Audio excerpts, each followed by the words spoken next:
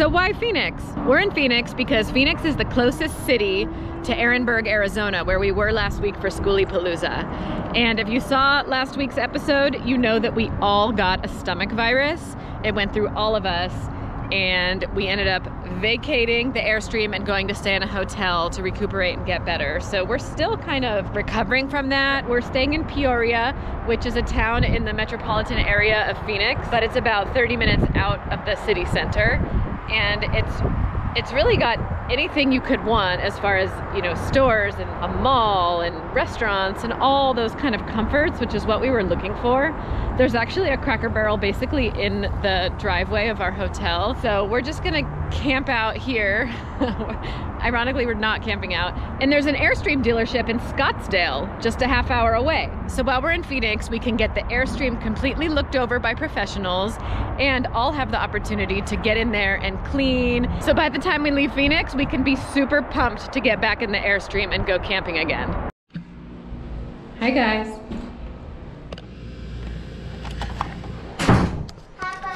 And here we are, home sweet home. This is gonna be our home for the next, I don't know how long, in Phoenix while we get back on our feet. Uncle John's been. Olive sitting down on the box. That's goofy, Olive. It shakes, like maybe it's coffee beans or like Legos or something. Yeah. No, a clock. You think it's a clock? Yeah. What you doing, Mama? We're opening a present from Uncle John. He's been trying to get it to us since Christmas, but we move around so much that we're we're hard to get to. Oh, what's that? What is it, What Linden? is all this? Oh, Amber cooler, Is it a Gila monster? maple syrup. Huh? Oh look, it's uh, he, we're, we can make breakfast. That's the last one? Yeah, you want to hold it? It's maple syrup, just like you. What's it? We got egg crystals and pancake mix and ghee. Boondock breakfast. I found out his name. What? His name is Scaly Aww. Because he has scales. What scales? Scales are those speckles. Yeah, we'll say- See how his skin is kind of bumpy? Yeah. How many scales does he have? Are you counting the scales? Yeah. We have a bunch of things on our list that would be nice to get looked at and get fixed in the Airstream, but there's one thing that we definitely need to get looked at, and that's our thermostat because it's not working. It mysteriously stopped working right after we arrived in Phoenix. Fortunately, we're in a hotel, so it doesn't matter right now, What are you doing, Maple? I'm collecting wipes. but we definitely want the thermostat looked at and fixed before we go on any major trips. Right now, it just shows error codes EE or FF. So we definitely want the Airstream dealership to check out the thermostat, figure out what's wrong, and fix it so we can use our furnace again. But besides the thermostat, all the things in the Airstream that are on our list are really not that big of a deal. We have a bunch of things on our list that would be nice to get fixed at the Airstream dealership, but most of them are just little things like like these blinds, for example. They got they got ripped off. This morning I found a little bit of a leak here in the front window somehow.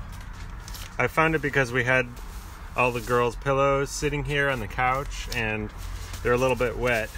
Not a huge amount of water. Might be hard to see in the camera, but there's a there's a little line of water that's actually going down on the inside of the screen. Somehow it's coming from the window seal, I think, or somewhere inside near the roof. Been a while that we've had the Airstream and we've gotten really lucky in terms of the main systems haven't really broken. If we're gonna go somewhere rugged like Alaska, I really don't want to have a breakdown of a critical system. So the most important things, anything that has to do with trailering, so the chassis, the tires, the axles, the brakes, I want all of that stuff to be in top mechanical shape and looked at by a professional before we attempt a big adventure.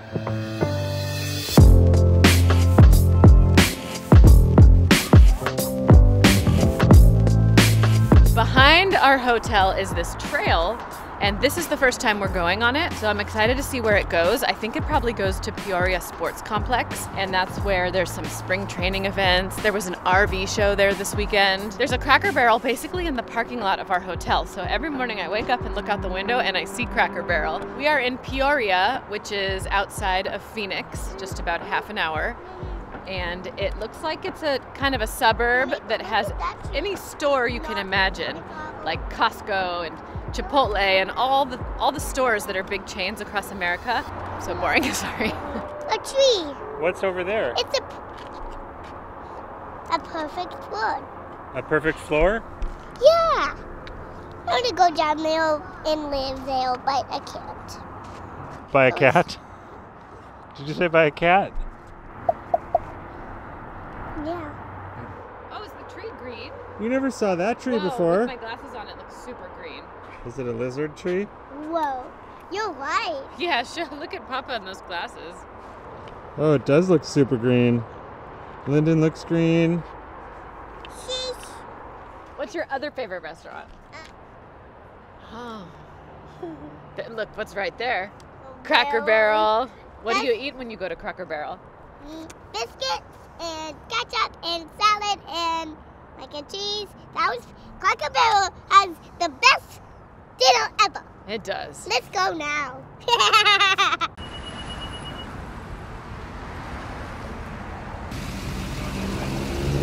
There's a sign that says service drop off there.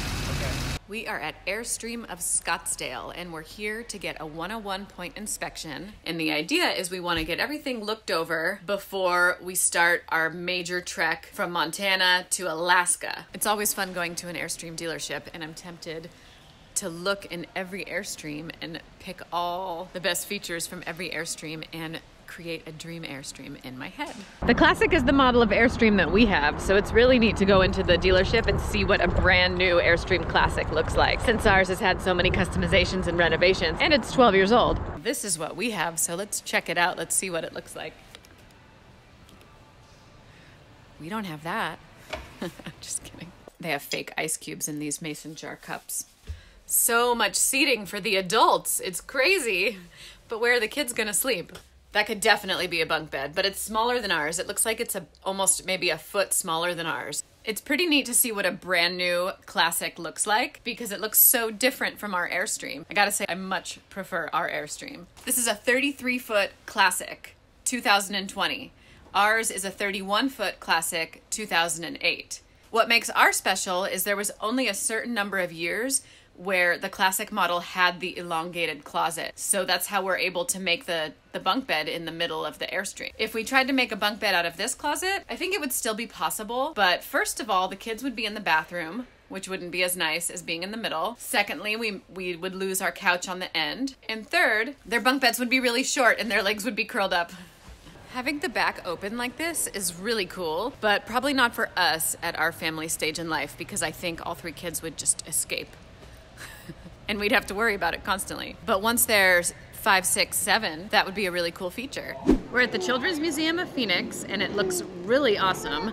We just got here and we're all hungry, so we went straight to the cafe. It was a little bit of a punch in the gut because we had to pay for everyone, all the kids and both adults. And we're used to going to children's museums that have reciprocity for the children's museum that we're a member of. So that was a surprise. But it looks like a ton of fun, so we're just gonna try to get our money's worth. So far, trying to get our money's worth isn't going that well because we showed up hungry and went straight to the cafe, and it looks like the kids are already getting tired and wanting to take a nap soon. We're not always the most efficient and organized with our field trip skills, but we learn lessons each time and we try to make improvements. Food's ready. But the flip side is this place looks really cool. Look, there's a sign that says selfie spot, so I gotta try it out. It's on the, my feet. This playground is like a three dimensional maze. You climb up and up, and it goes up all three stories, and there's different levels and layers and paths. It kind of looks like it would be out of that movie Baron Munchausen. There's a boat, there's a bathtub, there's a couple of different lookout areas, and all the materials are materials that you don't imagine things are built with, like a bathtub and a boat, and also crayons or bottle caps or things that you might think are junk, but they are they've turned into building materials. What, Maple? The DVDs. DVDs? Yeah, they're kind of like DVDs. When we first got here, Linden spotted this penthouse room up at the top of the play structure, It's so big, Linden.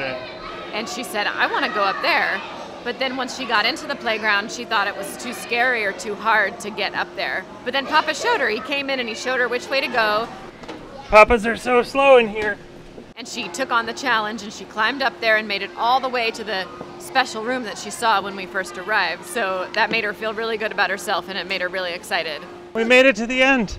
So she conquered her fear in this playground. Linden's favorite thing to do is play dress up and put on little shows. So every time we go somewhere like this, like a children's museum, she makes me ask right away if they have costumes.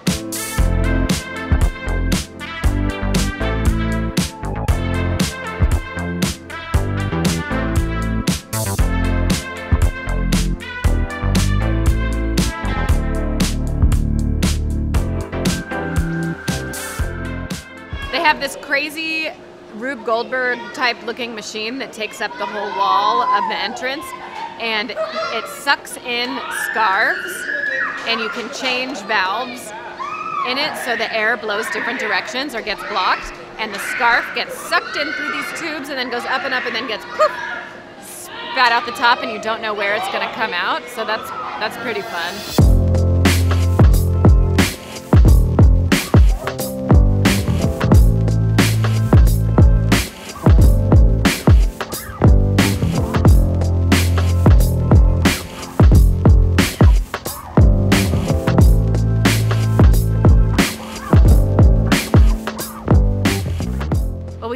Up at the Children's Museum of Phoenix. They had this car wash for kids set up, and the kids could ride little tricycles through a car wash, like with the whole spaghetti noodles and everything. And there were different types of tricycles, all different sizes for different kids. And there was even a tricycle with a trailer behind it. And Linden said, I want to ride the tricycle with a trailer like Papa, and she had Olive climb in her trailer and she rode through the car wash. They loved it. Well, at this point in our travels, I definitely consider myself a children's museum expert. I've been to so many children's museums across the country, and this one really holds up. I think it was a ton of fun. It's got so much stuff, and all the materials and all the exhibits are really great, but it is a little pricey. I wouldn't mind the price so much if they had a membership that allowed for some kind of reciprocity. If we were to buy a membership today, our ticket cost would go against the membership cost but it's still really expensive. And once you have that membership, there's no other museum that takes reciprocity for the Children's Museum of Phoenix. So if you have a family of five like us, you can plan on spending $75 just to get in the door, which is kind of a bummer. I am glad we came because I'm starting to really care about children's museums. I like to see the different ways they're laid out and what they offer. There's even a whole outside playground that we didn't notice until we're leaving. Uh-huh. Oh, they also offer classes. They offer drama, music, and dance on Saturdays for preschoolers,